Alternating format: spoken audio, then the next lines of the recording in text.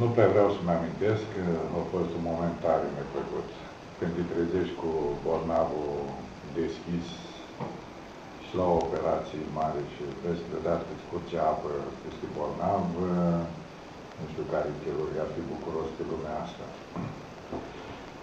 Având în vedere că în România, să știe, numai de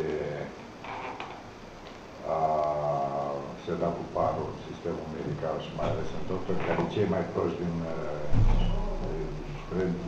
din produsul facultăților românești au rămas în țară, așa cum se spune în presă. Când am cardiopatie ischemică, cred că făceam infarct. Ce să fac? Primul lucru, ne-am adunat să strângem, să nu intre apă în, în bolnavă deschis, nu? După aia, ce s-a întâmplat este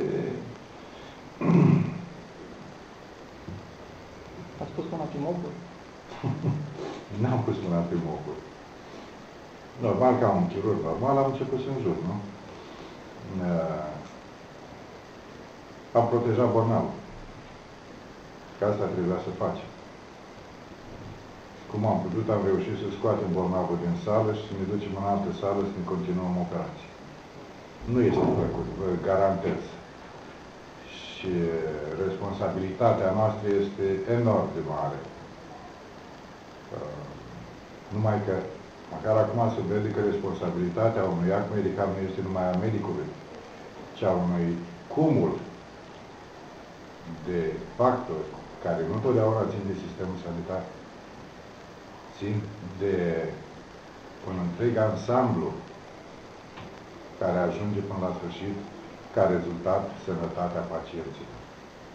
Bolnava este bine în momentul de față, nu? Din punctul nostru de vedere, da, dar o infecție postoperatorie de bea la două-trei zile se vede.